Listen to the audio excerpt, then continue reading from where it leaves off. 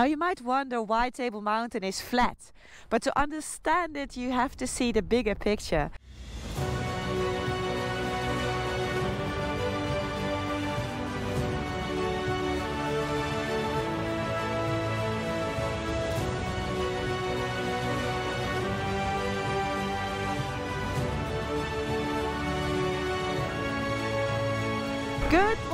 Internet. It is uh, 9.30 in the morning and welcome back to the channel. The tires arrived and the air filter arrived. So I'm now going to the bike shop and then uh, Savannah is getting some new shoes on. There we are. Back at the shop.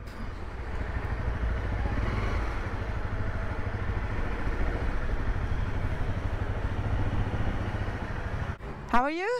I'm good, how are you? I'm good. Come on in. Thank you.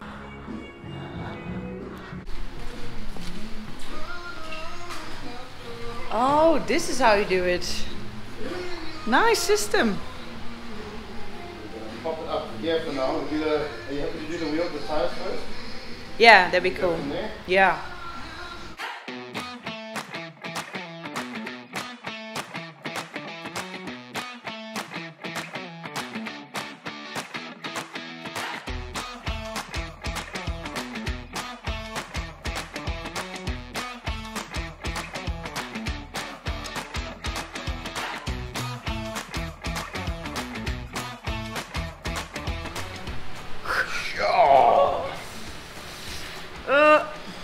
Compared to new. Mm, Sure. Okay, so let's not just put that back in like that. yeah, maybe clean. Give the- everything a nice. It's very filthy.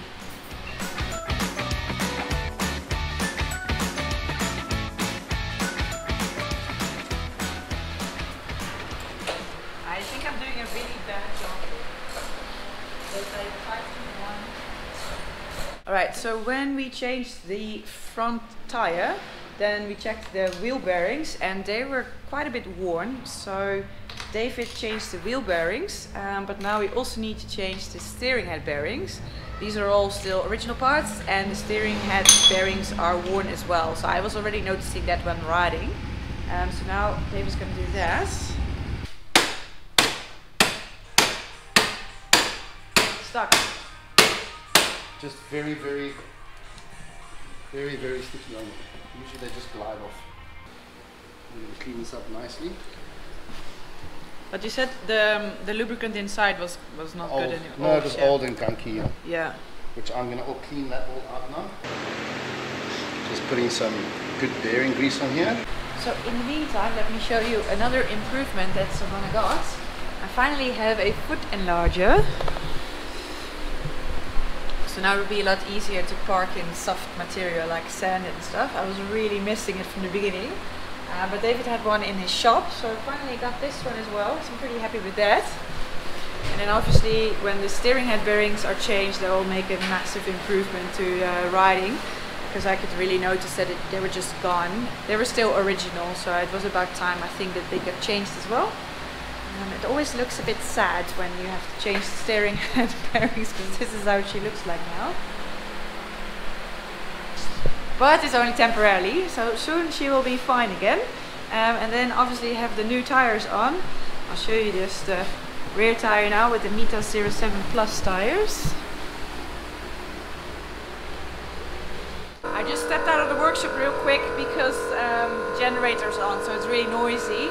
Uh, but David is now changing my grips. Uh, I just bought new grips because Savannah fell over and when it was really windy. It was my fault, but anyway, she fell over to the right side and my grip got damaged. Unfortunately, even though I have the head, um, the guards, I don't know exactly what happened, but anyway, she fell really hard on it and it was damaged. Um, so that's why my grip actually got stuck a little bit and it was really hard to give throttle. So now I just got some uh, new grips as well. So Savannah is getting like nice, nice little upgrades. I'm really happy with it. That. That is that. Woohoo! She is ready and Savannah also got an extra sticker here. Look at it. Overland Motorrad. Ready. Yes. Cool. Check out my new grips. See the clip that I gave you on there? Oh, So there's a red one to go with the red. oh, thank you. This one I see was already Yeah, it's yeah. Oh, thanks a lot. See you. Bye.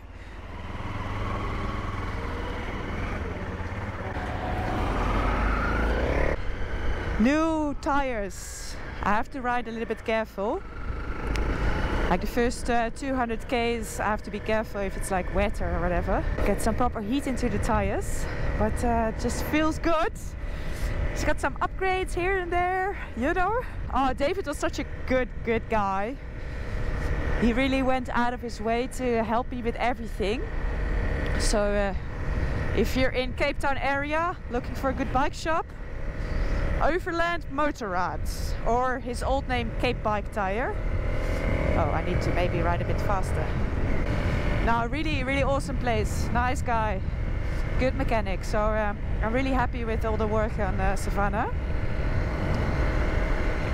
There's one more thing that uh, I might get my hands on uh, crash guards.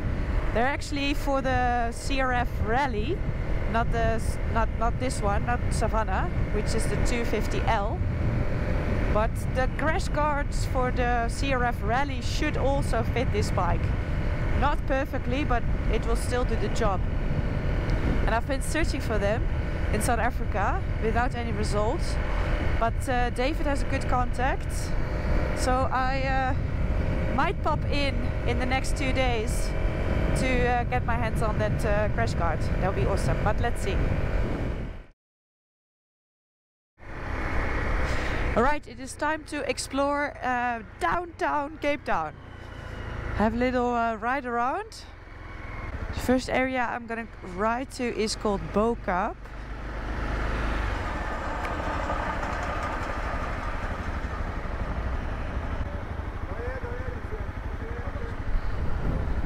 It's a windy day today. I hope uh, it will be okay because after I ride around city center, I want to go up Table Mountain today. But uh, there's like 35 uh, kilometer per hour wind, so let's see. Anyway, first uh, check out city center. Pretty close now, I think. Magistrates Court.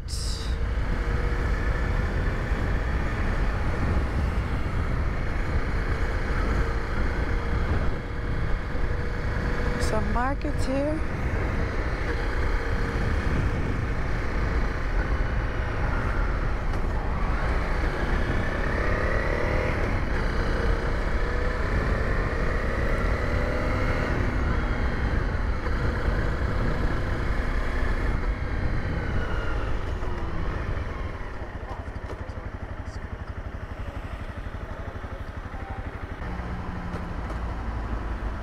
See, up there is Table Mountain. You can see it really well from this side.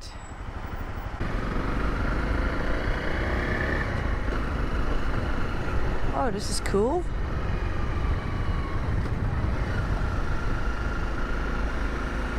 Very old church here.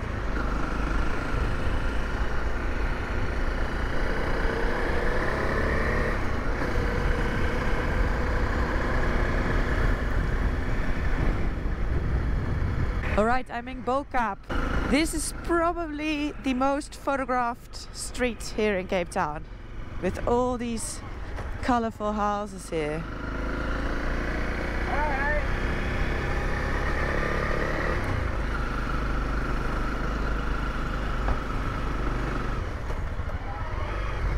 Dorp Streets. So this part of town is where mostly Cape Malay people live. And the Cape Malay people that live here are actually descendants from slaves that were brought here by the Dutch. Very um, dark page. One of the dark pages in uh, Dutch history.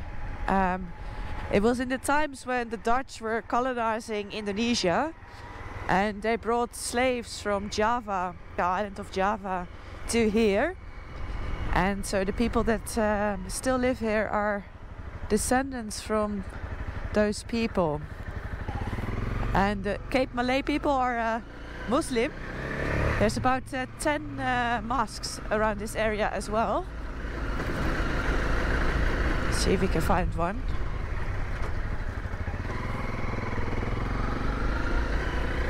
Oh, there's one. I just spotted one. See, this is one of the mosques. There's nine more scattered around this area.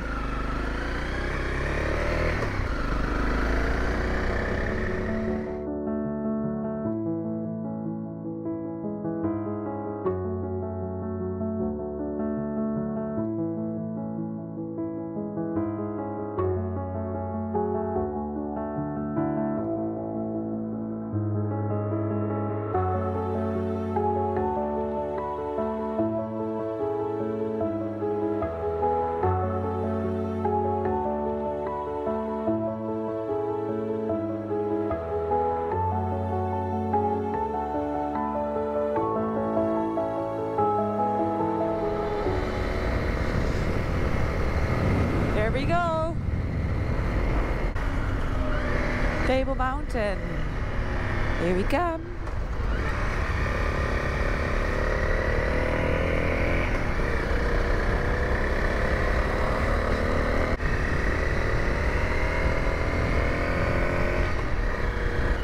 Sometimes you have to wait for hours to be able to get up there if it's busy, so let's hope it's not too busy today. No idea where I can park, actually. Hi! Do you work here? Where can I park? More up there, or? Further up there, you coming? Are you coming to go up the mountain? Yeah, I want to go up the mountain. Close back. It's closed. Yes. Why? Wind is very, very strong on top. Too much wind. Oh, shame. Okay, do you think it will open later today? No, No, not anymore. not today. All right. Thank you very much. Bye.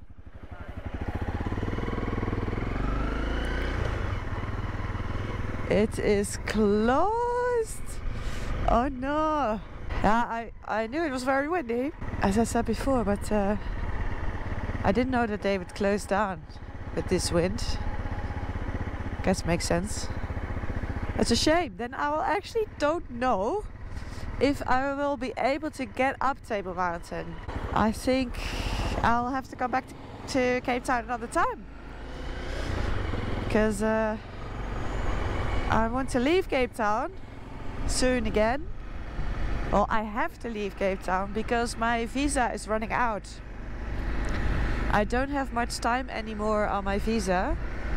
So South Africa is kind of kicking me out in like a week or two.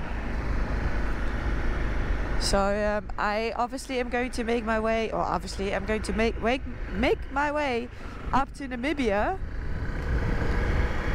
right across the border there. So I still have to ride like the the west coast of South Africa. So I will need two weeks for that. I think there's some some things to see there as well. Here, at least have a good look on this view.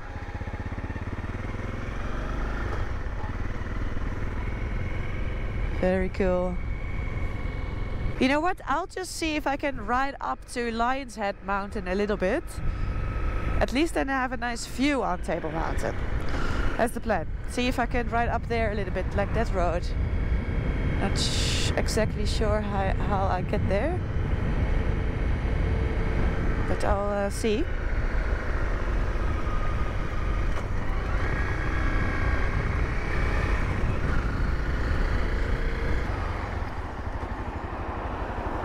Signal Hill. Oh, it's Signal Hill. Maybe not Lion's Head.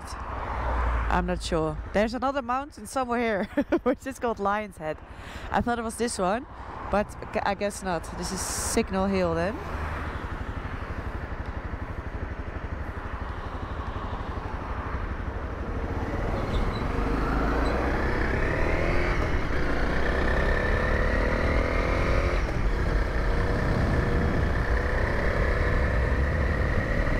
It's all still part of the Table Mountain National Park.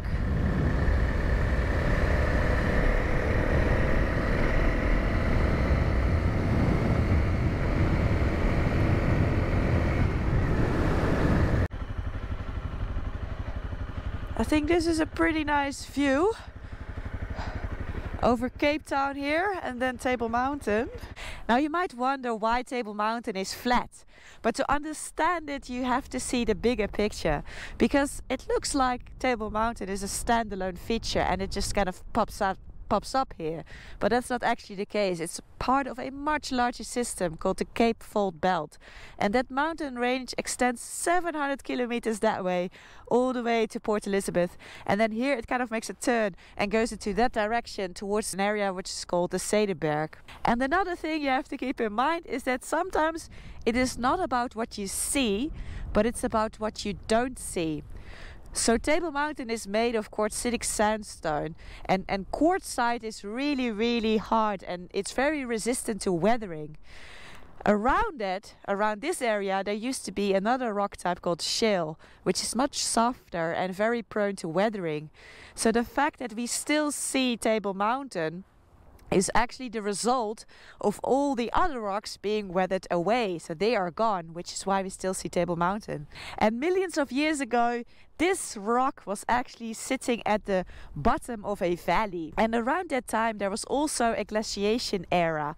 So there was a layer deposited on top, which is called tillite, which is a glacial deposit that is all weathered away. So what you now see is only that quartzitic sandstone which remains. And it all got pushed up because of tectonic forces around 200 million years ago. I think Cape Town has a pretty unique setting.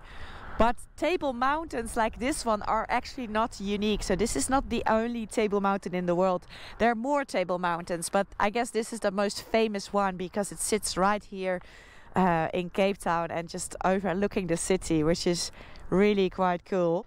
Yeah, what to do? Shame I can't get to the top, but such is life.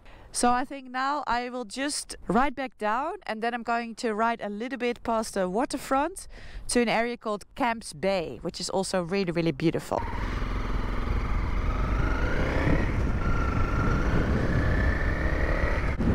So that right there is Camps Bay.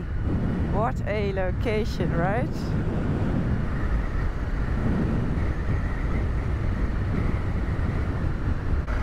So this is Camps Bay Beach. Pretty nice.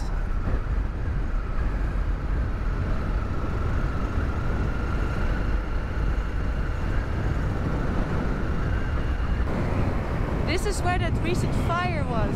Woo! It's very windy. See, this is all burned. All of this. Anyway, that was it for today now. I really hope you liked this video.